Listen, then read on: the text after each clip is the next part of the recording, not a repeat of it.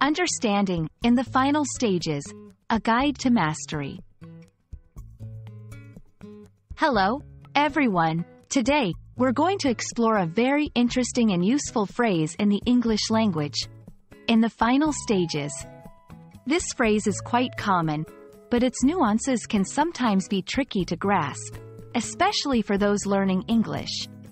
By the end of this video, you'll understand what this phrase means, how to use it correctly, and see it in action through examples. So, let's dive in. In the final stages, refers to being at or near the end of a process, project, or period of time. It signifies that most of the work or development has been completed, and only a small portion remains before the conclusion.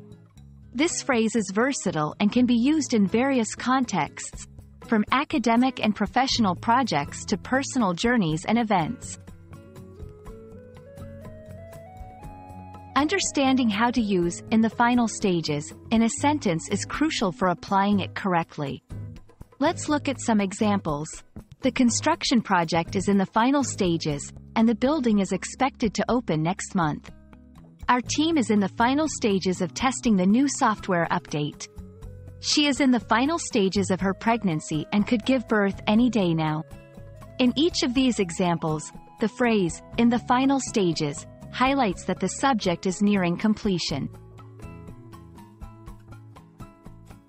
Expanding your vocabulary with synonyms and related phrases can help you express the same idea in different ways. Some synonyms for in the final stages include nearing completion, almost finished, in the home stretch, on the verge of finishing, using these synonyms can add variety to your speech or writing and help you communicate more precisely. When learning to use, in the final stages, be mindful of these common mistakes. Confusing it with at the final stage, which implies being at the very end, while in the final stages suggests being in the process of concluding. Overusing the phrase for situations that are not near their end, which can lead to confusion. Understanding these nuances will help you use in the final stages accurately and effectively. Congratulations! You now have a solid understanding of the phrase, in the final stages, and how to use it in your English communications. Whether you're talking about projects, events, or personal experiences. This phrase can help you describe situations that are nearing their conclusion. Keep practicing, and don't hesitate to experiment with the synonyms and related phrases we've discussed. Thank you for watching, and I hope this video has been helpful.